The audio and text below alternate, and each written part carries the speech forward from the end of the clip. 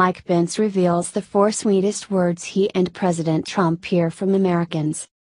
Vice President Mike Pence sat down with CBN News chief political correspondent David Brody on Sunday and spoke of the relationship between evangelical Christians and the Trump administration. What is going on, spiritually, at the White House? Brody asked the vice president. Well, I think President Trump has a heart of gratitude for evangelical Christians in this country, Pence told CBN News. The vice president then revealed to Brody the sweetest words he and the president hear from Americans. I have to tell you, the sweetest words the president and I ever hear, and we hear them a lot, are when people grab us by the hand and say, We are praying for you, Pence stated.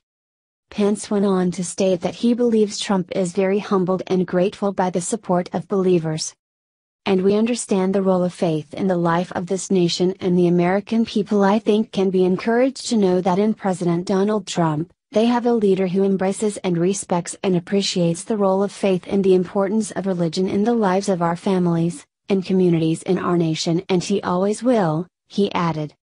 Pence has never been shy when it comes to his Christian faith, a faith he has been persecuted for. In March, the Washington Post reported that in 2002, Pence had told The Hill that he refrains from eating alone with any woman who is not his wife, a practice otherwise known as the Billy Graham Rule, named after the famous evangelist who created the rule in 1948. According to the Charlotte Observer, the rule was designed to avoid creating situations that appeared to be suspicious or compromising.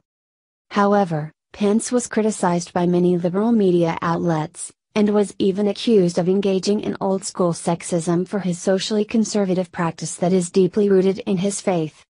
Many have criticized his stances on same sex marriage and abortion, both of which are subjects Pence navigates with help from the Christian doctrine. The vice president has also been vocal in his belief that Christianity is the most persecuted faith in the world. The reality is across the wider world Christian faith is under siege, Pence told a crowd during the World Summit in defense of persecuted Christians in May. Throughout the world, no people of faith today face greater hostility or hatred than followers of Christ. In October 2017, Pence announced that the U.S. will provide direct aid to persecuted Christians in the Middle East through USAID, rather than using ineffective United Nations programs. It is my privilege to announce that President Trump has ordered the State Department to stop funding ineffective relief efforts at the United Nations, Pence remarked at the In Defense of Christian Summit.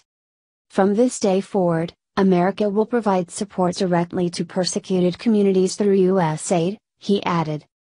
LifeSite News reported in October that Pence is set to visit persecuted Christians in the Middle East in December.